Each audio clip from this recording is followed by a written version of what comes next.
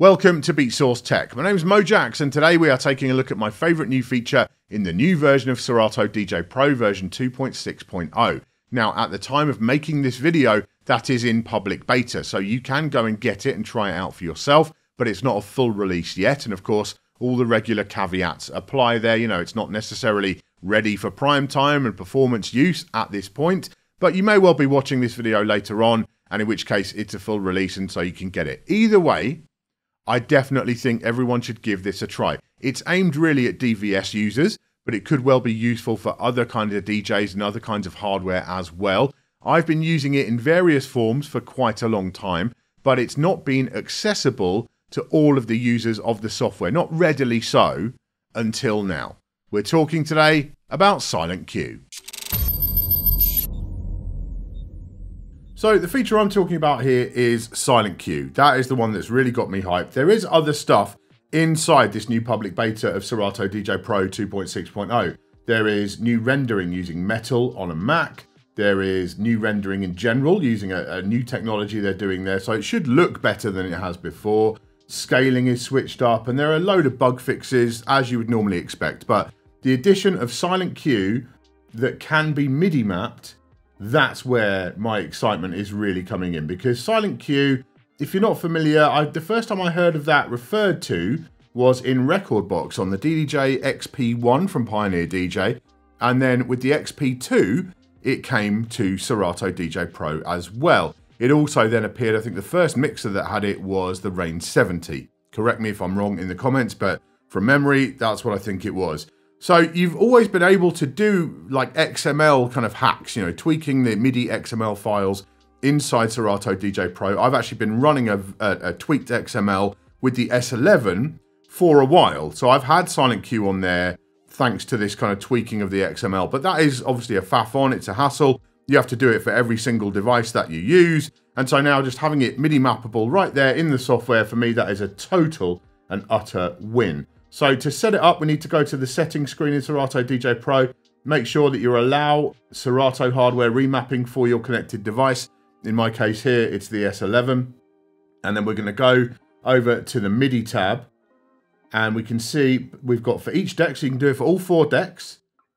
Deck 1 and 3, deck 2 and 4 on the right hand side. We now have Silent Cue there. So I'm going to click on Silent Cue now I'm going to move the control or touch the button that I want to use to control Silent Cue on each deck. So deck one, for now, I'm going to use the left parameter button in Hot Cue mode. We will do a different mapping. I'll, I'll, show you my preferred one later on in the video, but this is where I'm going to do it for now. Just going to map it there. You can see it comes up. Lighting is on, so it will light up when I hit Silent Cue. So, and then we'll do the same on the right-hand side. I'm going to use the outside parameter button over there for deck two. So now our mapping is done. I'm going to click MIDI, come out of the MIDI mapping, and let's load up a track and get started. So I'm going to put it into wireless mode because I've got phase on. There we go. Right, we're rolling. So let's roll up. And now when I hit that outside parameter button, silent. The deck goes mute in Serato DJ Pro. You can see it's muted there. If I want to unmute quickly, I can just hit that same button again. But I can now hit any cue point that I want. So let me load up a track that's got a few more cue points on it. Let me find one with more. Uh, let's see. This one, for example. Right. So that's playing. Got three cue points.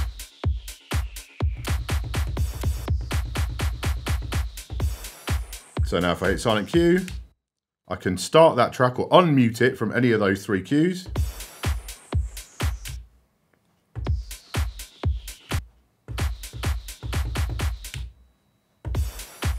And it's as simple as that. You know, in terms of it, how it works, it is as simple as that.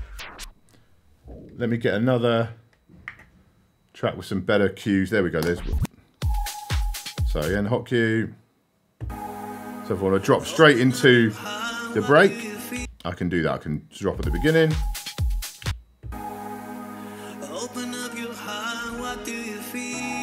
Back to mute, drop from the top or drop straight in there.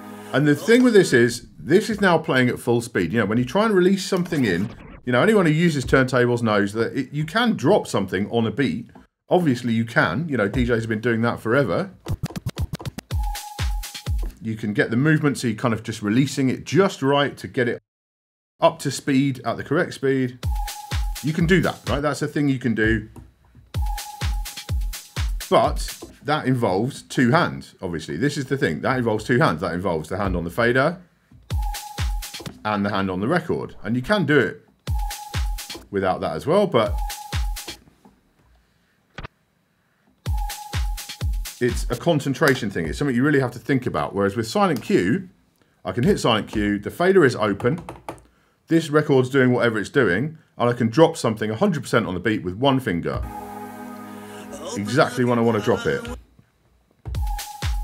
And so that's when, yeah, you're getting a second track involved. So let's get that going.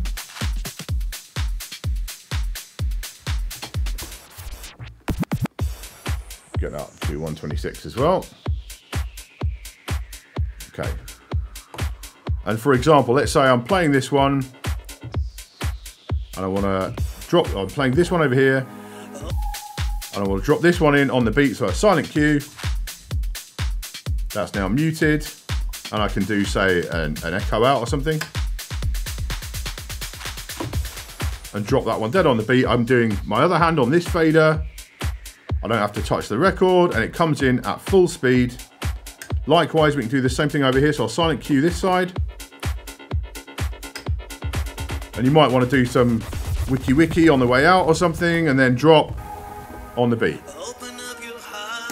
And of course, you know, if you're using devices with instant start, like maybe the Rane 12s or the Rane 1 or a controller or you know controlling with CDJs or media players, you can drop using the play button and it will just kick in exactly on time at full speed and everything else. Obviously, you can't do that with a turntable. You can't just press start on a turntable because it's going to wind up the physical nature of the motor. And, and, the software, when you've got like the Rane 12s, for example, the software compensates for that. It will do an instant start for you if you have that turned on. With turntables, with DVS, that's never going to happen. So just having this option to just drop something at full speed, dead on the whatever pitch you've set it to, from whatever cue point you want, I think it's just fantastic. I really do. As I said there, I've mapped it to these outside parameter buttons, which I find very useful buttons for some MIDI mapped features. But I think for Silent Cue, might be a little bit risky because they're so close to the main cue points. You know, there is a chance, I mean, it's a, it's a very slim chance, but there is a chance that you might accidentally mute your track and then you're in the mix and you don't know what's gone on. You, your track's gone completely silent all of a sudden. Or you might press it thinking, you know, if you're in a different mode, you might use those parameter buttons and then you come back in here and you accidentally press it. It's a thing that could happen. So I prefer to be a little bit safer with my silent cue. Let me go in and remap now. So I'm going to just hit return to unassign that one. What I like to do, the, the place I've traditionally had it set, I hold shift and push the browse knob. So again, hold, I've got to click it, shift, hold the browse knob, and there it is. And same on this side, let's unassign that one. Click, shift, push the browse knob. And so we'll close up the MIDI now. And so now, it's a two-step process to set the silent cue, but I'm not, I'm not in the mix, you know, I'm not actually needing both hands right now. I, I mean, I can do it with one hand, in fact, but, you know, I don't need this dexterity right now because I'm not doing my transition. I'm just setting silent cue on. Now it's on. I can drop in from whenever. And so same on the other side, come in from one. So shift load, and then my silent cue is there. I'm doing whatever I'm do doing on this one, dropping it down and drop that on the beat. So yeah, I just, I don't think you need to have it completely close at hand. It is very useful to have it accessible like this. You know, on the, on the S11, for example, there is the, um, the touch MIDI and it's in there on like page two, you know. But that that for me is that's too much of a hassle. That's too deep in the menu. And of course, lots of hardware just doesn't have it at all anywhere on there. At least it is there on the S11. It's just not as accessible as I would like. So from my point of view, having it just there with physical controls on the mixer, as I say, I use that button there, and then I silent cue, it's done, drop on the beat whenever I like. And the other thing I'll note as well is that you don't have to have DVS for this. Like you, you can, obviously it's aimed at DVS because DVS users are the ones who don't have the instant start available to them.